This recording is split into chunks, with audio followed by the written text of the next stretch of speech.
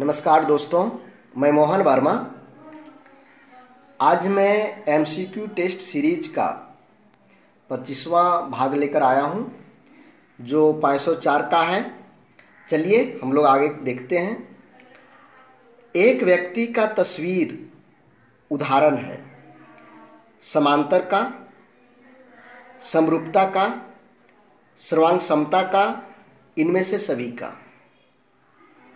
एक व्यक्ति का तस्वीर है आपके पास। वो किसका उदाहरण है?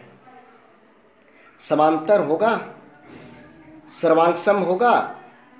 या समरूप होगा?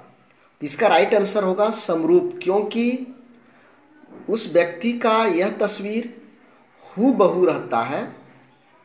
जैसा उसका जिस कटेग, जिस आकार प्रकार का है, उसी तरह से उसका ये तस्वीर भी रहती है। इसलिए समरूप होगा इसका। प्रतीक चिन्ह कहलाती है। यह जो प्रतीक चिन्ह है, यह क्या कहलाती है? रेखाखंड, रेखा, किरण, कौन? तो ये जो है, यह प्रतीक आपका रेखा का है। रेखाखंड में इस तरह रहता है। किरण आपका ऐसे रहता है। और कौन आपका ऐसे रहता है? तो ये आपका क्या है? रेखा का अगला प्रश्न है, किरण ए बी को किस प्रकार प्रदर्शित किया जा सकता है? ये अभी हम लोग ऊपर में देखें कौन कौन सा है? तो राइट आंसर इसका सी होगा।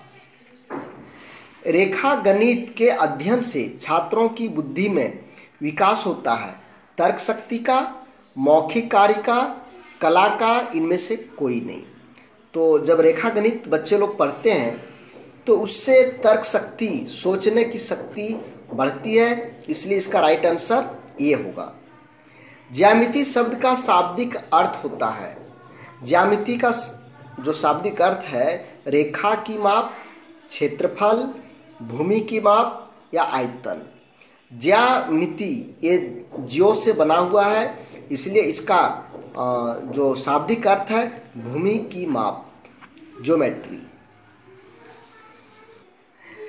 पुस्तक की लंबाई और चौड़ाई के मध्य कौन सा कौन बना होता है? पुस्तक की लंबाई। ये देखिए, ऐसे ये पुस्तक की लंबाई हुआ और ये पुस्तक की चौड़ाई है। मान लीजिए कोई पुस्तक है। तो ये लंबाई और चौड़ाई, इसके बीच में कौन सा कौन बना हुआ है? न्यून कौन अधिक कौन सम कौन कौन नहीं बनता है। कौन तो बन रहा है। न्यून कौन है नहीं अधिक कौन भी नहीं है, ये सम कौन है। तो इसका राइट आंसर सी हुआ। वृत्त का संपूर्ण घेरा कहलाता है। एक वृत्त है। इसका ये संपूर्ण घेरा है। ये संपूर्ण घेरा है। ये संपूर्ण घेरा क्या कहलाता है? व्यास व्यास आपका ऐसे होता है। त्रिज्या केंद्र से परिधि तक आधा होता है। परिधि, आपका ये जो चारों तरफ़ का घेरा है, संपूर्ण घेरा ही परिधि कहलाता है। इसलिए इसका राइट आंसर सी होगा। ज्यामिति के अंतर्गत सममिति को समझाने के लिए शिक्षक को किसका प्रयोग करना चाहिए? डब्बा का, पतंग का, बोर्ड का, चौक का। इसमें पतंग का हम लोग यूज़ करना चाहिए, क्योंकि पतंग इस तरह से और ये रहता है। देखिए ये समिति यानी दो बराबर भाग में बटा हुआ है। इसलिए हम लोगों को यानी शिक्षकों को पतंग का यूज़ करना चाहिए। समिति का शाब्दिक अर्थ होता है। यहाँ पर हमने जस्ट देखा कि समिति का शाब्दिक अर्थ क्या होता है। समान माप, बराबर बराबर।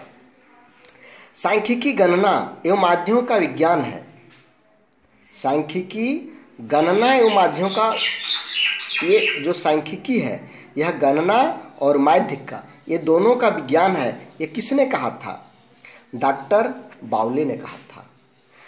दोस्तों, आप लोग जान ही रहे हैं कि प्रत्येक दिन एमसीक्यू टेस्ट सीरीज़ के अंत में एक प्रश्न होता है, इसका उत्तर आप लोगों को देना होता है और विनर बनने के लिए आगे बढ़ना है। तो आज का ये प्रश्न है, इस प्रश्न का उत्तर। आप लोगों को ए बी सी में से चुन करके यूट्यूब के कमेंट बॉक्स में लिखना है। धन्यवाद दोस्तों। फिर मिलते हैं नए वीडियो के साथ में। जय हिंद।